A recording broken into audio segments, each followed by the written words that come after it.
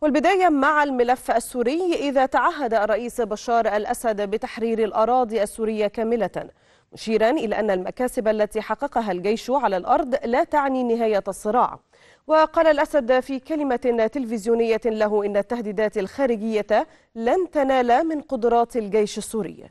وكان الجيش السوري سيطر في الأيام الأخيرة على عشرات البلدات والقرى في محيط حلب ثاني أكبر المدن السورية. تقدم الجيش السوري في شمال البلاد خاصة في محافظتي حلب وإدلب.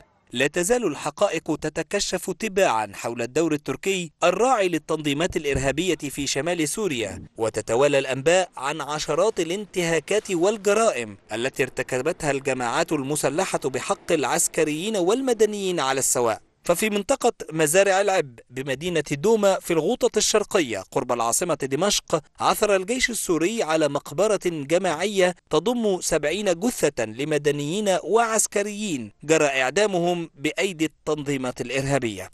ورجحت مصادر بالجيش السوري أن تكون عملية الإعدام قد تمت في الفترة ما بين 2012 حتى 2014 عندما كانت تلك المناطق تحت سيطرة الجماعات المسلحة الموالية لتركيا. وأشارت المصادر إلى أن معظم الرفات التي تم انتشالها كانت مقيدة. وخلال السنوات الماضية عثر على عدد من المقابر الجماعية في مناطق كانت تخضع سابقا لسيطرة تنظيم داعش الإرهابي. أبرزها في مدينة الرقة معقله السابق في سوريا وفي محافظة دير الزور بشرق البلاد.